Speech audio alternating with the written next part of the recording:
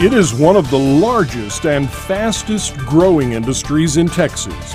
It's the travel and tourism industry, and its impact on the state's economy is staggering. The latest figures show travelers directly contribute more than $50 billion to the Lone Star State's economy every year. More than 1 million Texans are employed in travel and tourism related jobs and the travel and tourism industry has indirect ties to literally thousands of businesses, and each and every Texan is affected in some way. The relationship isn't always obvious. There's a true story about a San Antonio automobile dealer who was asked to support his community's efforts to draw more tourists to town. He asked the chairman of the Chamber of Commerce, Why should I do that? I've never sold a car to a tourist. His friend replied, How do you think all those people at Fiesta, Texas and SeaWorld get to work? Walk? I'd like to show you three of the state's busier parking lots.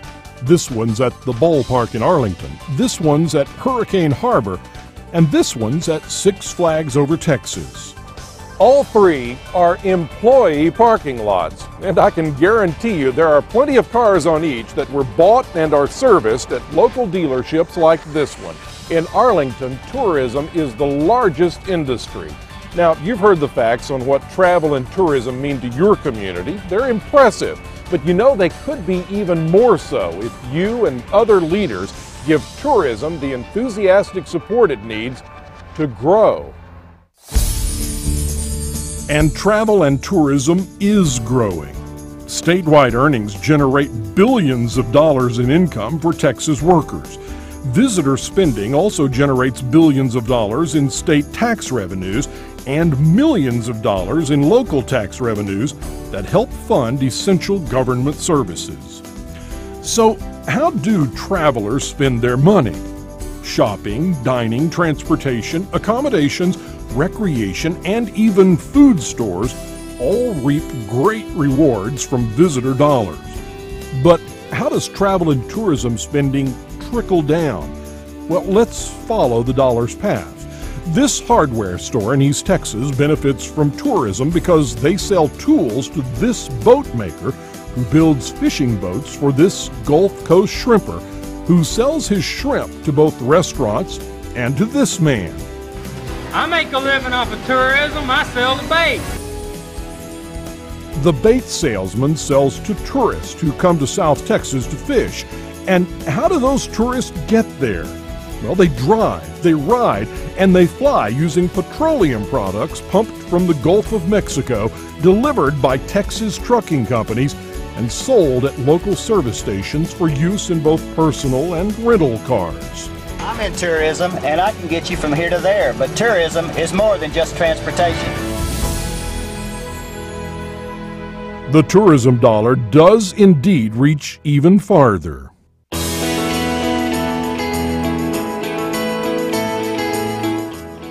I'm in tourism. I sell tractors. How can tractor sales be affected by tourism? Well, let's see. This is the famous Riverwalk in San Antonio. Like hundreds of thousands of people every year, these folks enjoying the local Mexican cuisine have come here from out of town.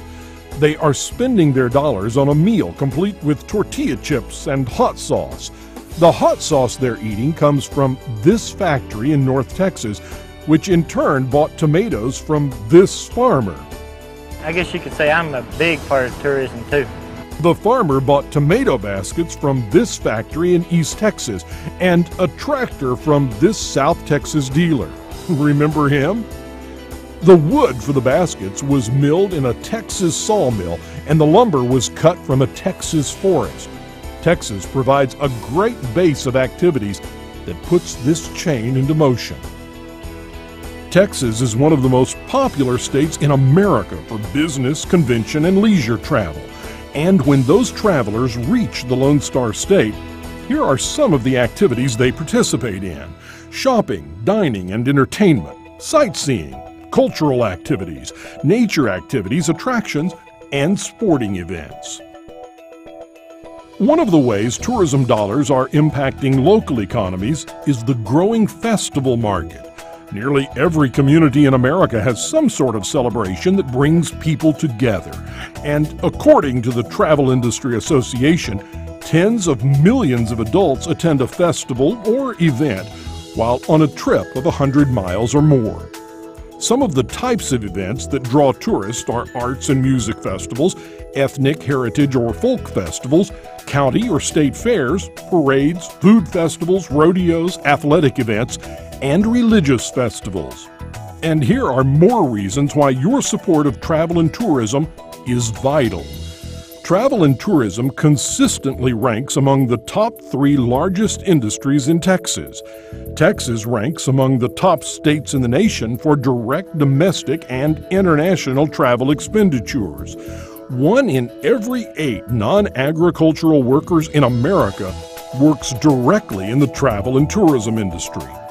Travel and tourism offers a tremendous variety of career opportunities. In fact, one study suggests young workers in the travel and tourism industry are two and a half times more likely to become a top executive in any business sector than are the same age workers across all types of industries.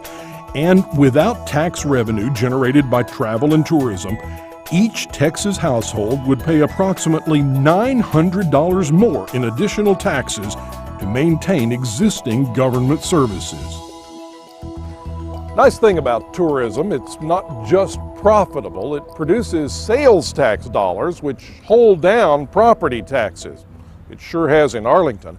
And it adds immensely to the quality of life in the communities that recognize its importance. Now, granted, not every acre of Texas will become a tourist mecca, but every city and town with a road running through it benefits in some way from tourism. There's a reason for all those restaurants being up by the highway. It's the towns with imagination to find profitable ways to take what local residents may take for granted and turn it into a reason for visitors to stop, enjoy, and spend. Every Texas business benefits in some way from tourism, even car dealers.